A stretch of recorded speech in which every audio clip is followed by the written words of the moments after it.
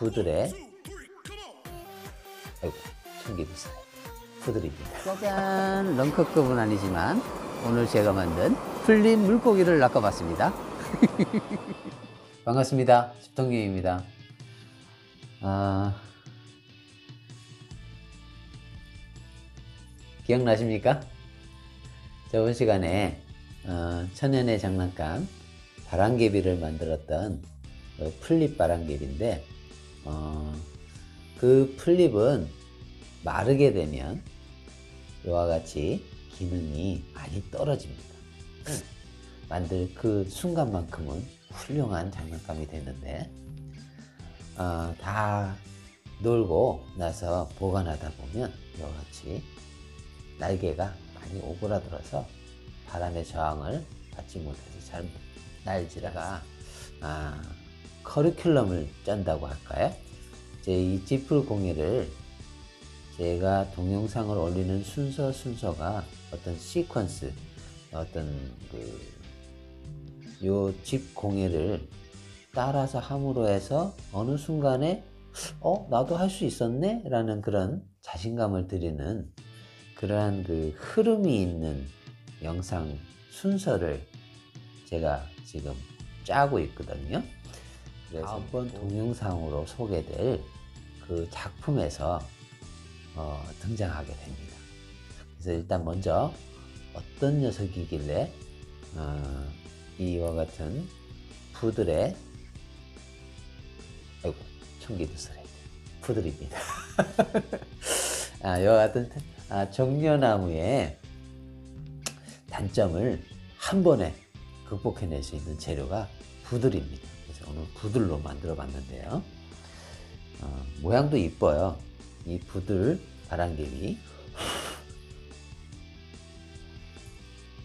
날개도 더 많죠? 자, 날개가 많다는 것은 재료가 더 많이 들어갔다는 얘기입니다. 이것은 두 입으로 했고 또는 네 입으로 했기 때문에 날개가 총 8개가 나옵니다. 부들이라는 재료는 마르게 되면 변형이 그다지 급격하게 변형이 되지가 않는 그런 특성이 있고 아주 또 질깁니다. 또 마, 마찬가지로 이게 수생식물이기 때문에 물에 상당히 습기에 강한 그런 재료입니다. 종려나무의 단점을 한 번에 극복해낼 수 있는 천연의 재료 부두를 가지고 어, 바람개비도 만들 수 있을 뿐만 아니라 풍력 발전기도 있으면 수력 발전기도 있어야 되지 않겠습니까? 자, 모양을 보시면 내날역기를 가지고 겹으로 만들어 놓은 그런 어, 수력 발전기 물레방아는 다음번 주제로 올려보도록 하겠습니다. 종려나무 잎으로 바람개비를 만들면서 제가 살짝 오늘 영상을 소개했던 기억이 나는데요. 요 종려나무 잎으로 만든 바람개비가 한 번만 더 손이 닿으면 물고기로 바, 바뀌어버립니다. 보이십니까? 풍력 발전기를 만드, 만드시는 분이면 이와 같은 물고기도 만들 수 있다는 얘기입니다. 한번 오늘 물고기를 한번 만들어 보도록 하겠습니다.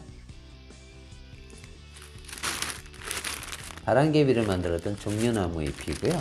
많이 말라져 있어요. 그래서 지금은 만드는 과정에서 구부리게 되면 부러집니다. 그래서 미리 충분한 시간을 두고 젖은 수건이나 물에 충분히 담가 놓으시고 시간을 기다리시면 다시 이 풀에 물이 머금어지면서 부드러워. 이 잎사귀는 어, 보시면 가운데 어, 심이 있어요. 심. 그리고 양쪽에 두 장의 이파리가 있어서 항상 요 가운데 있는 요 줄기 심은 이렇게 떼낼 수 있고요. 자, 두 개의 잎으로 바람개비를 만드는 방법으로 엮는다고 그랬죠. 자, 십자로 해서 V자로 올렸잖아요. 그죠? 기억하십니까? 다음 눌러진 녀석을 다시 V자 형태로 올리고요. 다음, 요 다음 눌러진 상태를 위로 올려서 마찬가지로 눌러진 녀석을 반대편 사이에다가 넣으시면 기억나십니까? 바람개비가 만들어지고요. 조금 부러질 것 같아서 제가 조금 조심스럽네요. 자, 앞에는 플러스 모양, 뒤에는 X자 모양. 기억나시죠? 자, 여기서 뒤에 X자 모양으로 된 부분을 한 번 더 올리시고 반대편으로 한 번 더 끼워주시면 어떻습니까? 간단하죠? 간단하잖아요, 그죠? 자, 다시 한번 해보겠습니다. 자, 앞에는 이렇게, 뒤에는 X자 모양으로 해서 저번에 바람개비를 만들 때 다시 모양이 같은 모양이 될 수 있도록 리나를 번갈아 눌러가면서 마지막에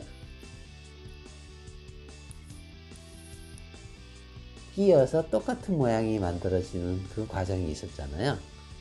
그 과정을 두 번 빼는 겁니다. 두 번 빼면 자, 뺀 거 다시 빼고 빼고 했을 때 두 번이라고 했습니다. 그죠? 자, 한 번, 두 번. 자, 이게 풀리지 않으려면 어디에 되면 됩니까? 요 사이에다가 끼우는 겁니다. 그냥 끼우시기만 하면 이 같은 물고기가 나옵니다. 맞죠? 자, 이 같은 물고기를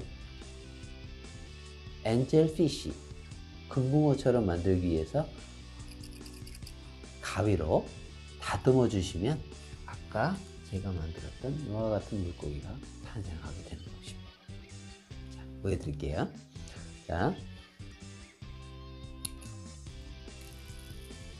빼내시고 층층이 빼내시고 마지막으로 빼내시면 있죠? 뒤집어서 똑같은 과정입니다. 계단처럼 잠시 끊어내고 그 다음 계단 모양 만들어서 끊어내고 마지막으로 하나 더 나뭇잎이 이렇게 결이 져 있기 때문에 이와 같은 모양을 만들 수 있습니다. 어, 꼬리의 길이는 짧게 길게 여러분 마음대로 연출하시면 되겠습니다. 저는 짧은 게 좋아서 일단 짧게 만들어 보도록 하겠습니다. 자, 이렇게 마찬가지로 뒤집어서 한 번, 두 번, 세 번. 어떻습니까? 물고기 같지 않습니까? 자, 아까 제가 잎과 줄기를 속심대로 구분했잖아요. 자, 낚시를 한번 해보도록 하겠습니다. 자, 아까 분리해낸 그 대고요. 이게 낚싯대가 됩니다. 보여드리겠습니다. 자, 끝을 한번 매듭 지어 주시고요. 자, 음, 잘 들어갈 수 있도록 이렇게 뾰족하게 하신 다음에 자, 물고기를 관통시켜 보도록 하겠습니다.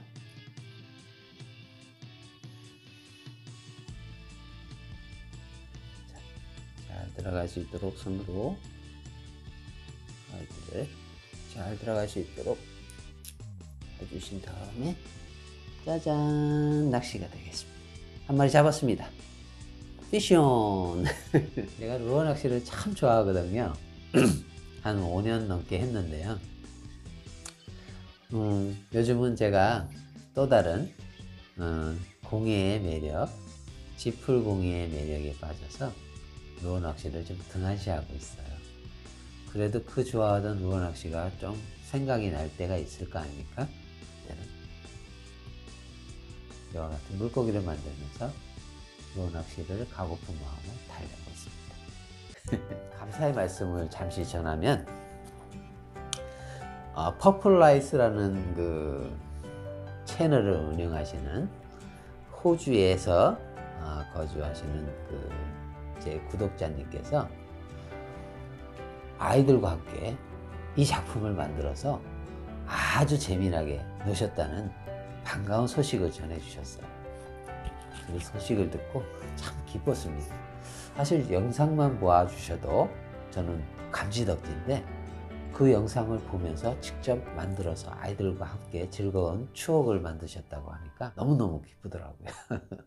대단히 감사합니다. 이렇게 낚싯대에 걸 수도 있지만 모비를 만들어서 아이들 방에 걸어 두시면 풀냄새가 은은하게 나는 천연의 장난감으로 아이들의 감성을 마음껏 자극할 수 있는 아주 좋은 아이템입니다. 여러분들. 날씨는 화창하고 햇볕은 따뜻하고 오후 내내 바람 없는 잔잔한 그러한 강가 뚝방에서 지금 낚시를 하고 있습니다. 제 앞에 있는 수몰나무가 아무래도 물고기들이 은신에 있는 은신처 또 요맘때쯤에는 수온이 아직까지 찹기 때문에 작은 고기들이 활동하기보다는 큰 고기들이 활동을 합니다. 몸에 어, 지방질을 많이 축적해 놨기 때문에 추위에 견딜 수 있고 그만큼 먹이도 먹어야 되기 때문에 어, 활동을 하는 그런 런커급을 노리고 있습니다. 어, 입질이 왔습니다. 자, 이럴 때는 줄의 텐션을 유지해 주면서 2차 입질을 감지하는 순간 후킹! 예, 잡았습니다. 보이시나요? 짜잔! 런커급은 아니지만 오늘 제가 만든 풀린 물고기를 낚아봤습니다.